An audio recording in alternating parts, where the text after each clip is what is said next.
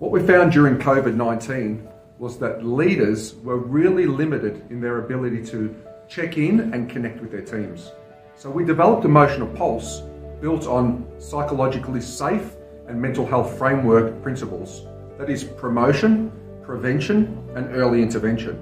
And the technology allows leaders to connect in with teams at timely manner and in a non-intrusive way. Based on psychology-backed principles. Behind you, you see the emotional array.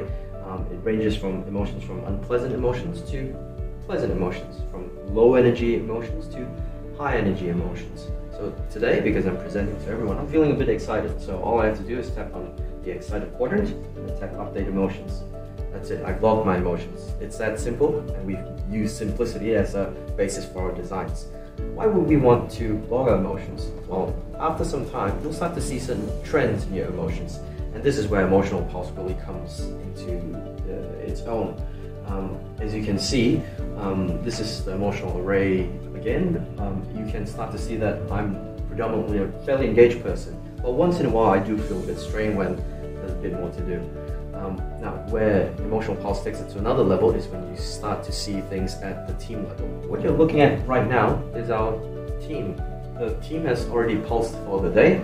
Um, now, I as excited, so I'm here in the orange highlight and this is the rest of the team. As you can see, there's one person that feels a bit strained, so this could be a sign for our support members to go out there and check in with the rest of the team and find out how they're going. So we know that naming emotions is helpful. A great study out of UCLA looked at arachnophobes and all these different control settings, the ones that named their fear, that named their emotion, had less physiological arousal and were able to get closer to the spider. They were able to perform better and felt less stress. So naming emotions creates space and distance so that we're less controlled by them.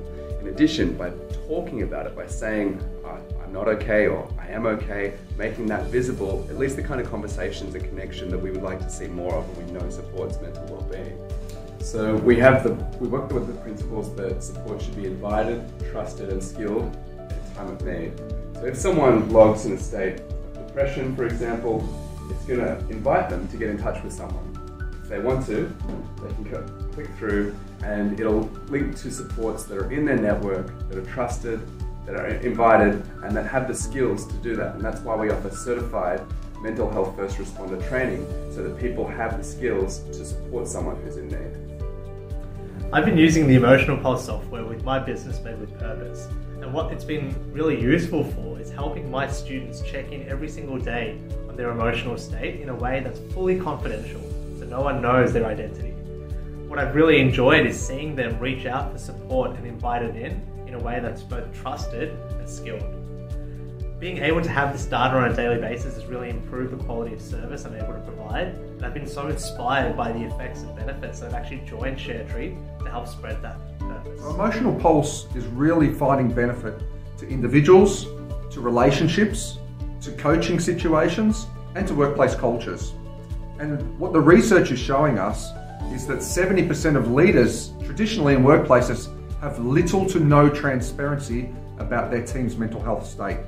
And 100% of leaders in workplaces using Emotional Pulse said it significantly improved not only who to help, but when to help. And what teams are reporting is 83% improvement in connection and the authenticity of support. So Emotional Pulse is to mental health what the seatbelt was to road safety in the 1970s.